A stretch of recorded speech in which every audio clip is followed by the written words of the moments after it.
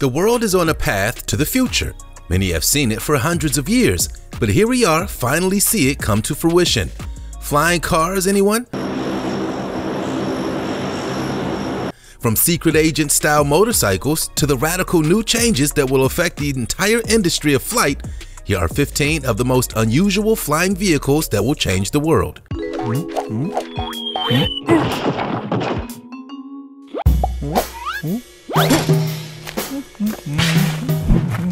PAL-V.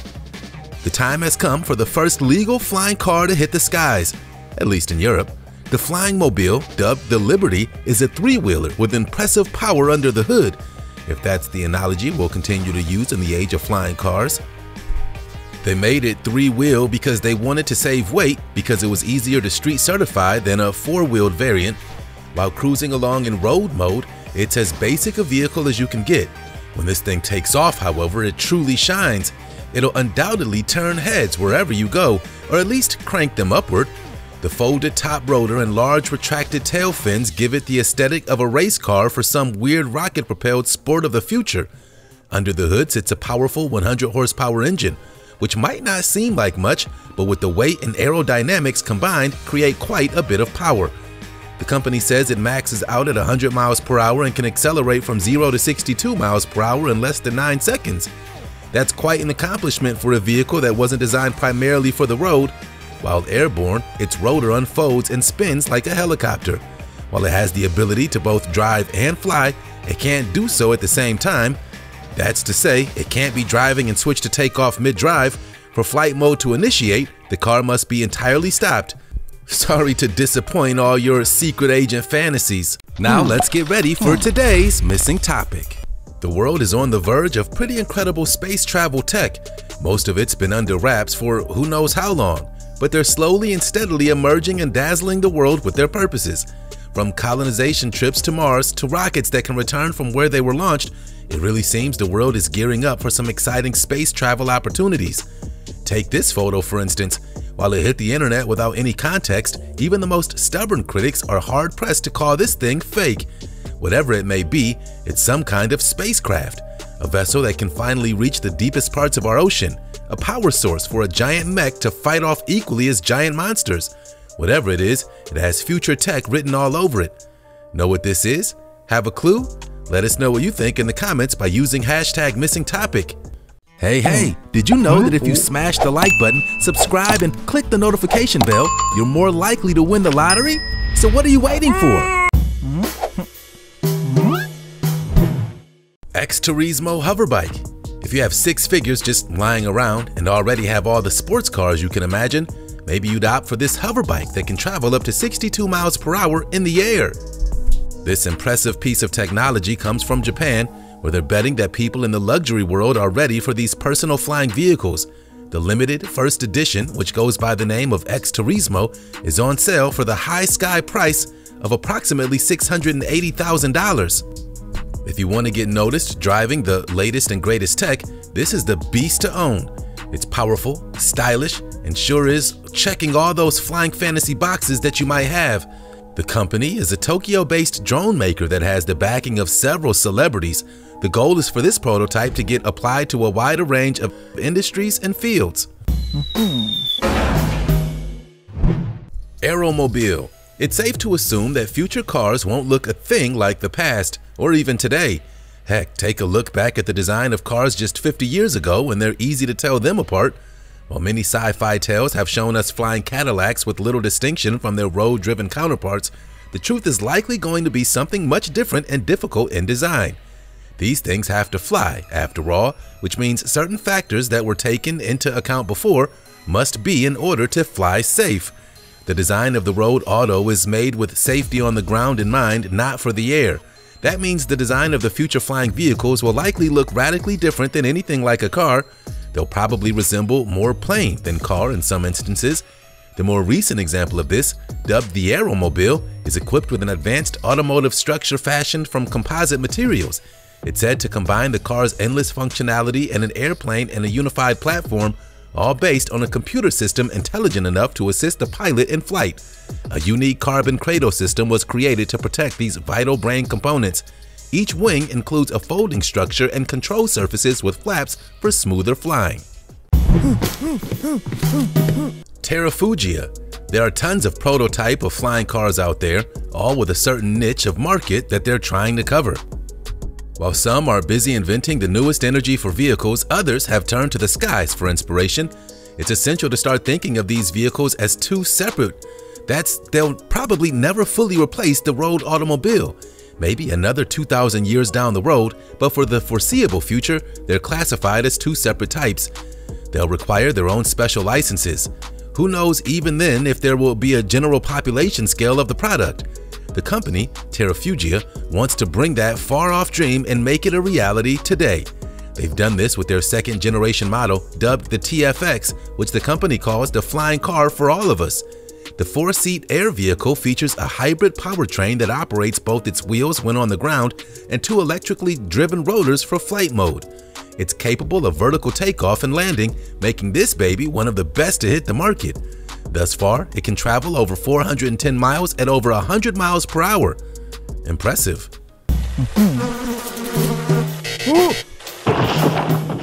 Speeder Flying Motorcycle the company Jetpack Aviation just recently introduced their incredible speeder, a flying motorcycle that's expected to be commercially ready by 2023.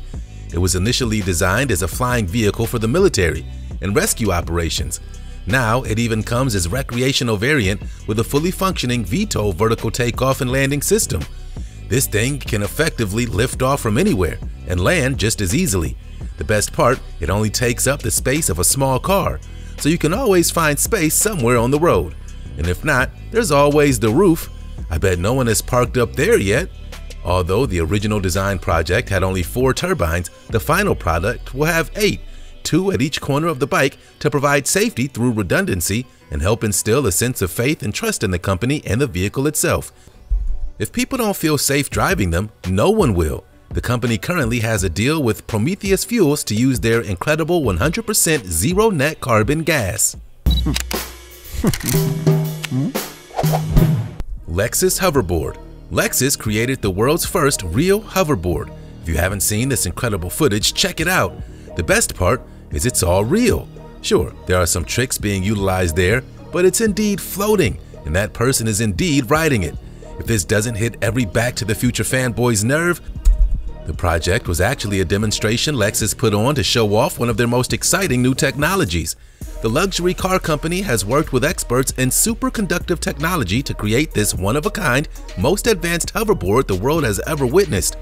The concept is the fourth project in the Amazing in Motion campaign, demonstrating the company's unrelenting commitment to pursuing new possibilities in advanced technology. How the heck did they pull off something like this?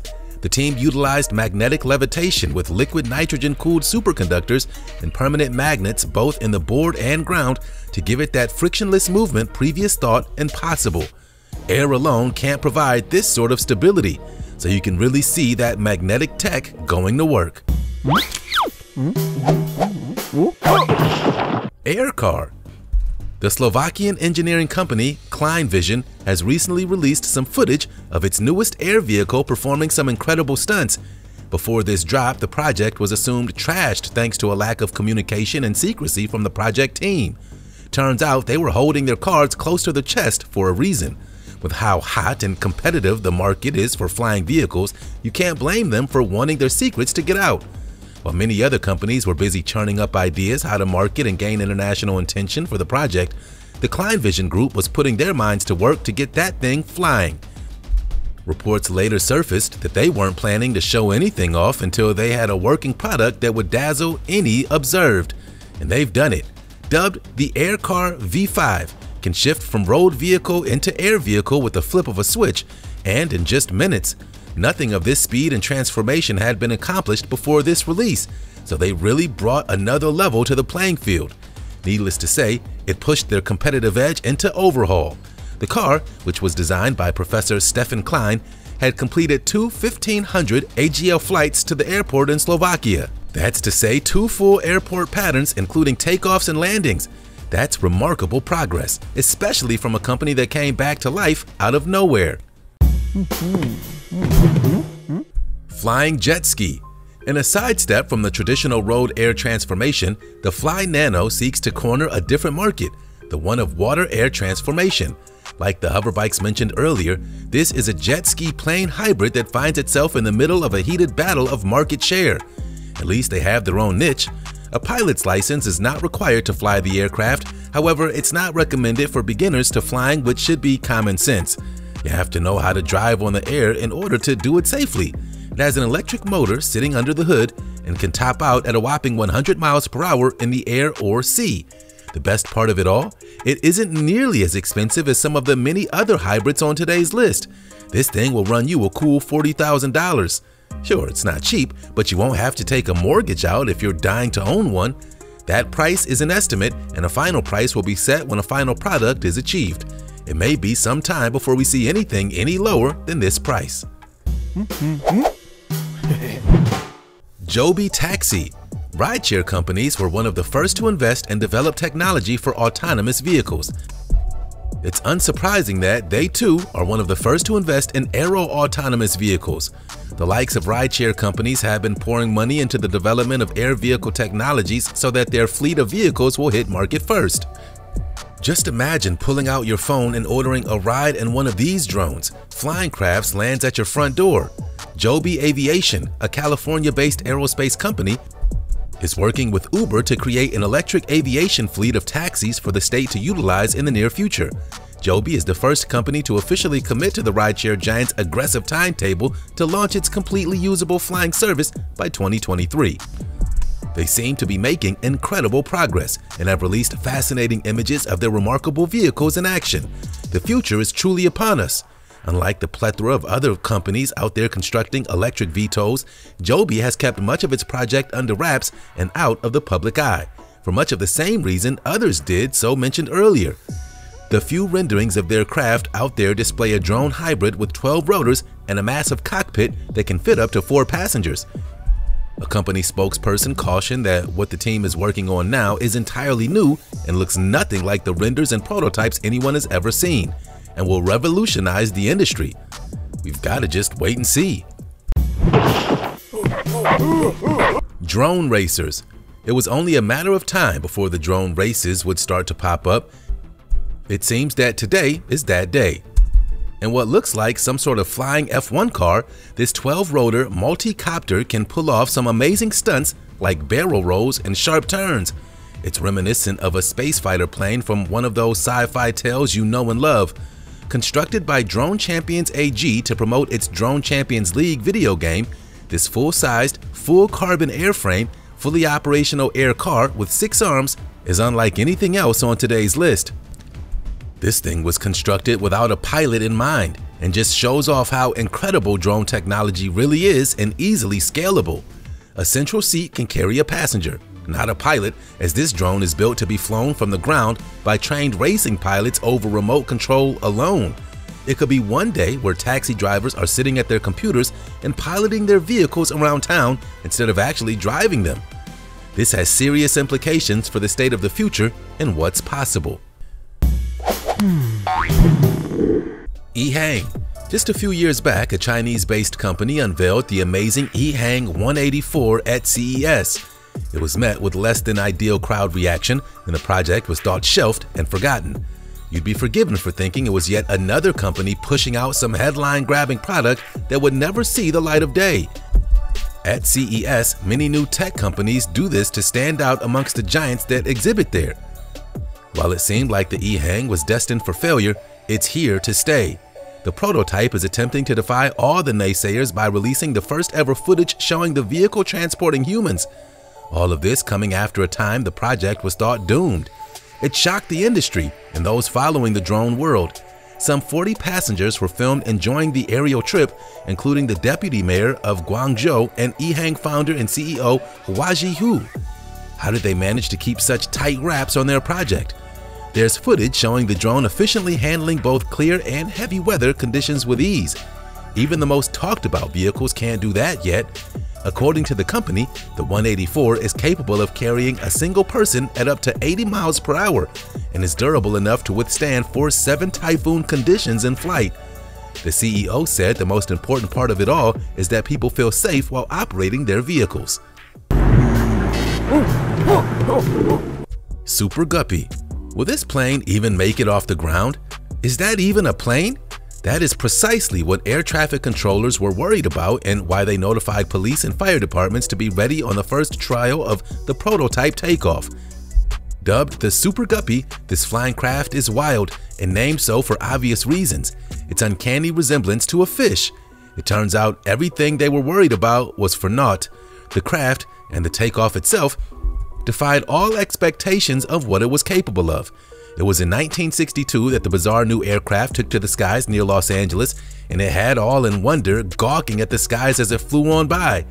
This moment ushered in an age of aircraft design, all the bizarre looking guppy in mind. Looks more like a UFO than a human-made aircraft, but even that definition is subjective. People who observed the original flight claimed it moved like an airship of science fiction than a modern airplane. Modern for the times at least, Despite being 50 years old, this hybrid plane still transports cargo with flawless efficiency, making it one of the best designed aircraft ever constructed, even outmatching the legendary C-5 Galaxy. Hmm. Lockheed Martin Airship. It might look like a blimp, but this thing surpasses most modern aircraft by tenfold. The Lockheed Martin P-791 is an experimental aerostatic hybrid airship what a mouthful, developed for maximum cargo and personal transportation. The first flight took place in January 2006 at the company's secret test facility at the Palmdale Air Force Base. As a hybrid airship, part of the weight of the craft itself and its payload are supported by buoyant lift, while the rest of the weight is supported by aerodynamic lift. The combination of these two lifts is a genius attempt to benefit from both the high speed of aerodynamics and the lifting capacity of aerostatics.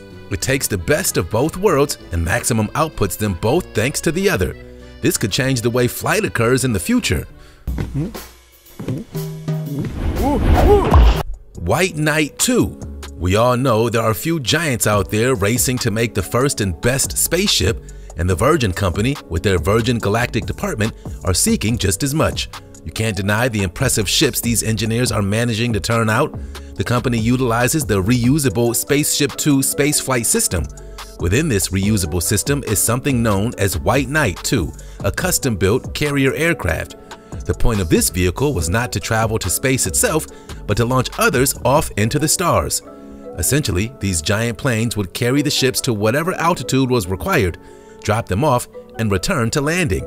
The huge size of the plane requires an equally large landing spot. The Inflato plane. As well as their famous blimps, the Goodyear Company constructed military aircraft under license many years ago. Their most efficient construction was probably that of the legendary Vought Corsair. Their real plans were to build rubber airplanes, and in the 50s, they finally got that opportunity. The U.S. Army was seeking new ideas and sponsored development of various different military projects, one including the Inflato plane, otherwise known throughout history as the Inflata Bird. The tire company claimed it was suitable for all types of Army field operations, particularly stealth reconnaissance.